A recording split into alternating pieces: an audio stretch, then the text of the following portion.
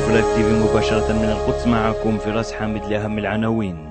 القضية الإيرانية ما زالت تقلق العالم وهذه المرة تصريحات شتى ومختلفة التصريح كان البارحة وهو من وزير الدفاع الإيراني وهو يقول بأن الولايات المتحدة وإسرائيل تتأهب لأي هجوم عسكري على إيران وبالأخص على المفاعل النووية الإيرانية. هذا التصريح جاء بعد الإشاعات الكثيرة بشأن أي هجوم عسكري من قبل إسرائيل.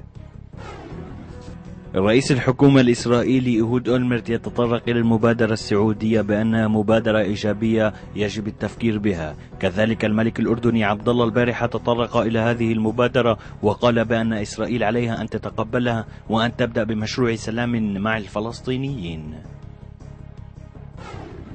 خافير سولان رئيس الاتحاد الأوروبي تطرق البارحة إلى الحكومة الوحدة الفطنية الفلسطينية وقال أنه سوف يتحدث وسوف يلتقي برئيس الحكومة والفلسطيني وكذلك من الممكن أن يلتقي برئيس السلطة الفلسطينية أبو مازن. والآن الاتحاد الأوروبي يفكر ما هو موقفه اتجاه هذه الحكومة.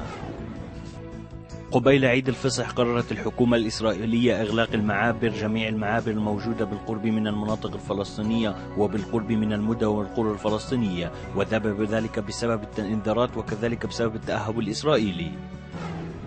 لجنة فينوغراد سوف تنشر اليوم نتائج التحقيق الذي أجرته مع رئيس الحكومة الإسرائيلي إيهود أولميرت ومع وزير الدفاع الإسرائيلي عامر بيرتز وقائد أركان الجيش السابق دان حلوتس والحديث في الأيام الأخيرة كان هل سوف ينشروا هذه النتائج أو سوف يخبئوها عن المواطنون والجمهور؟ السؤال جواب على ما يبدو سوف تنشر. أما بما يتعلق بأنجيلا ميركل وزيرة الخارجية الألمانية فهي تتواجد في منطقة الشرق الأوسط البارحة التقت بالممثلين الإسرائيليون واليوم سوف تستمر في زياراتها في منطقة الشرق الأوسط من أجل أيضا مرحلة دبلوماسية من أجل ابتداء مشروع سلام التي ابتدأته كندوليسا رايس. قضية الجند الإسرائيلي جلعاد شليد ما زالت عالقة ولا يعرف حتى الآن نهايتها. والد الجند الإسرائيلي نوعم شليد تطرق البارحة إلى القضية وقال أن بالحكومة الإسرائيلية لا يعملون جديا من أجل تحرير الجندي وعليهم أيضا تقبل اقتراحات الحكومة الفلسطينية الجديدة. سعر الدولار ينزل في الأيام الأخيرة بشكل كبير. حتى الآن الأسباب غير معروفة. هل هي الأسباب في العراق أو أسباب أخرى؟ هذا يؤثر على السوق في إسرائيل وأيضا يؤثر على السوق في العالم وبالأخص في الولايات المتحدة. تقرير خاص من انفولايف TV حول عمليات الشاباك الإسرائيلية والأمن الداخلي الإسرائيلي. تقرير خاص عن المأكولات والأطعمة في إسرائيل وعن المذاقات المختلفة للحضارات المختلفة. من انفولايف TV كان معكم فراس حامد.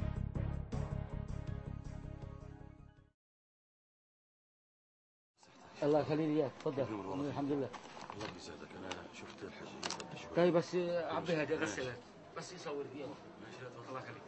بس يصوروا له بالصورة. أنا ما بروحش على المدرسة بص ما بعرفش اكتبه الله يرضى عليك.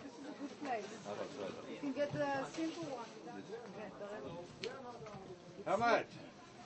Ten chicken, ten chicken, Ten shekels. ten chicken. Give me four.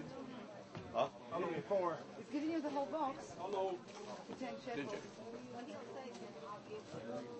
بتابعش أخبار كتير يعني والله ان شاء الله في السعر بتابع ليه زلمة منين؟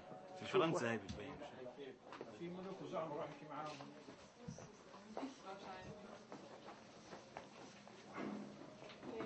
Half price.